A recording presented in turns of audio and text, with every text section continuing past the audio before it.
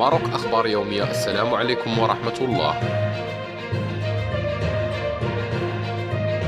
بلغت أثمنة القمح في الأسواق المغربية مستوى قياسي بعد موجة الجفاف التي يشهدها المغرب رغم التساقطات المطرية التي همت بعض المناطق المتفرقة ولأوقات محدودة علاوة على تداعيات الحرب الأوكرانية الروسية وبلغ سعر القمح في السوق المغربي إلى حدود الأسبوع المنصرم ما قيمته 90 درهما لكل عبرة أي لكل 18 كيلوغرام من القمح أي أن كيلوغرام الواحد من القمح أصبح يباع بخمسة دراهم بينما كان لا يتعدى ثمنه الأقصى ثلاثة دراهم فقط. وأظهر فيديو وثقه مواطن من مدينة إنزغان بجهة سوس ماسا أن ثمن العبرة من القمح بلغ 90 درهما مشيرا إلى أنه خلال أسبوع فقط ارتفع ثمنه بشكل صاروخي في حين كان يبلغ قبل هذا الأسبوع 50 درهما للعبرة الواحدة. مبديا تخوفه من الارتفاع المرتقب لهذه المادة الحيوية في الأسابيع القادمة في حال استمرار الوضع على ما هو عليه.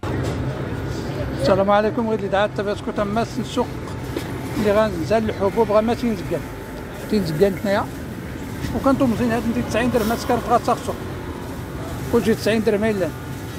نضرب ربي. يحدوا الباس. هذا هو اللي غادي نقول أنا.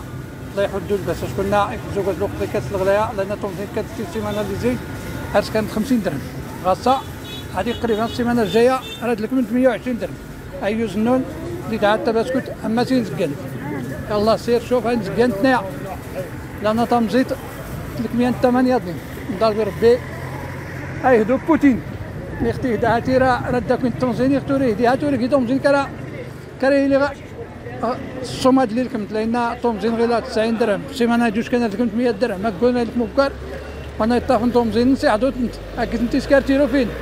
ايوز نون غير دعات بسكوت اما ينزقن